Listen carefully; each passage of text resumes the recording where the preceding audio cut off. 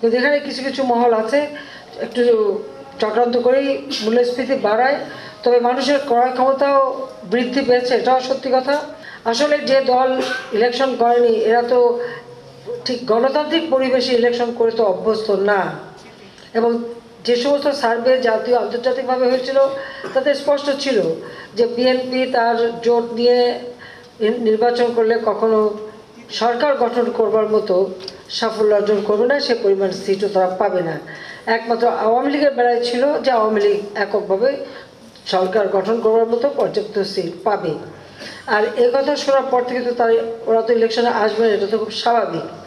আর তাছাড়া ওদের ক্ষমতা ওদের সৃষ্টি হচ্ছে অবৈধভাবে ক্ষমতা দখল অস্ত্র হাতে নিয়ে ক্ষমতা যা দখল করছে তাদের পকেট থেকে। স্বাভাবিকভাবে তারা জানে যে ক্ষমতায় বসেই নির্বাচন করতে এবং সবাই তাদেরকে সেইভাবে নির্বাচন করে দেবে এবং ওইভাবেই তারা জনগণের ভোট চুরি করা, নির্বাচনে কারচুপি করা, এসব কালচার তো বিএনপির আমলেই সৃষ্টি। কাজে তারা ওটাই ভালো বুঝত সেই কারণেই তারা, আমরা দেখেছি যে দু হাজার আটে যখন নির্বাচন হলো, তিনশো সিটের মধ্যে মাত্র আটটা সিট পেয়ে তিরিশটা সিট পেয়েছিল তারা।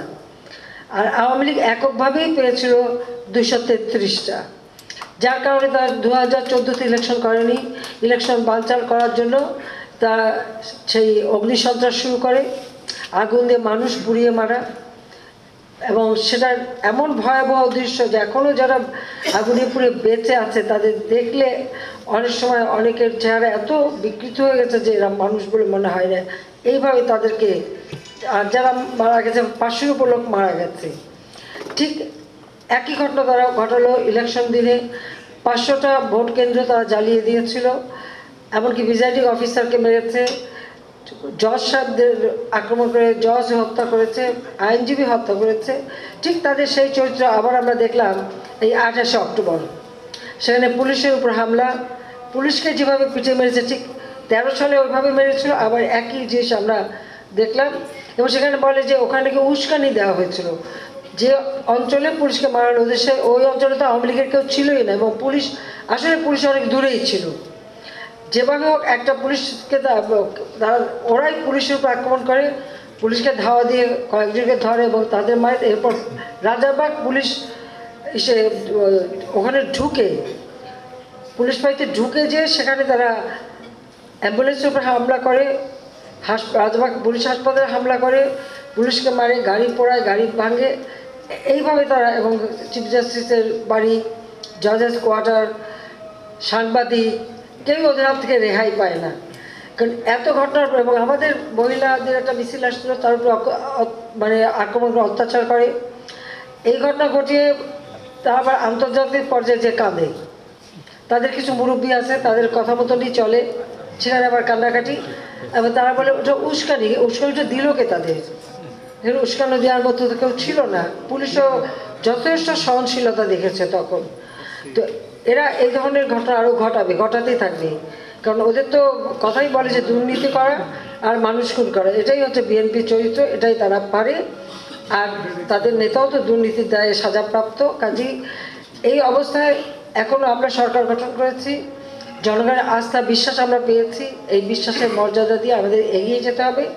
এবং যে উন্নয়নের কাজগুলি আমরা করে যাচ্ছি, সেগুলি যেমন সম্পন্ন করতে হবে এবং আমাদের প্রেক্ষিত পরিকল্পনা অনুযায়ী দেশের উন্নয়নের ধারাকে আরও গতিশীল করতে হবে, এগিয়ে নিয়ে যেতে হবে।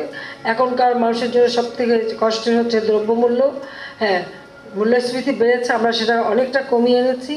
কিন্তু এখানে কিছু কিছু মহল আছে, একটু চক্রান্ত করেই মূল্যস্ফীতি বাড়ায়, তবে মানুষের ক্রয় ক্ষমতাও বৃদ্ধি পেয়েছে, এটাও সত্যি কথা। আগে এত ক্রয় ক্ষমতা ছিল না। আমরা যারা সীমিত হয় তাদের যারা অন্তত সরকারি বেতন পায়, পাঁচ পার্সেন্টের মতো আমরা বেতন বাড়িয়ে দিয়েছি সকলকে। আর তাছাড়া আমরা টিসিবি কর্তৃক পারিবারিক কার্ড করে দিচ্ছি।